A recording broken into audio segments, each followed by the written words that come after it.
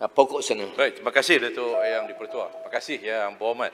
Uh, saya tahu Nadma uh, Nadma ialah untuk sebagai agensi mengurus uh, apa nama bencana, menguruskan banjir bila berlaku, bila bencana berlaku.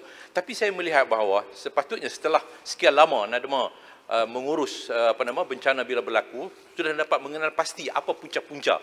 Jadi sebab itu sepatutnya Nadma sudah dapat menyelaras dengan kementerian-kementerian yang lain untuk memastikan pengurusan mengelak daripada berlaku bencana khususnya banjir, bencana banjir. Sebab kita tahu punca banjirnya peparitan, banjir temenung dan sebagainya kita tak perlu lagi nak habiskan duit nak beli kemah baru nak sedia itu dan sebagainya. Ini yang sepatutnya dilakukan. Apakah langkah-langkah yang telah pun diambil oleh NADMA sebagai badan pengurusan bencana untuk mengurus mengelak daripada berlaku bencana seperti mana? Banjir khususnya. Sila menteri. Tugas tugas uh, yang tuan itu tugas NADMA cuma menguruskan bencana. Jadi NADMA cuma berfungsi ketika ada bencana.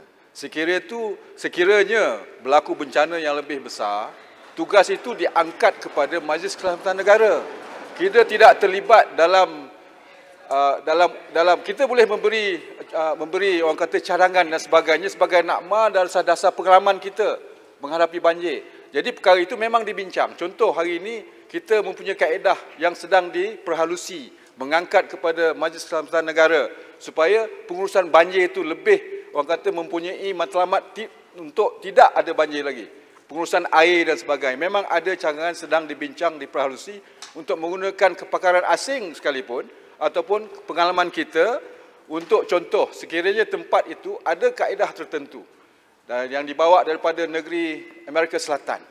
Ada kepakaran yang boleh apabila kita boleh apa tu menjangkai uh, banjir akan berlaku, banjir itu tidak akan berlaku dengan pengurusan yang disebutkan tadi pengurusan yang lebih baik dengan penggunaan teknologi terkini. Terima kasih. Terima kasih Menteri.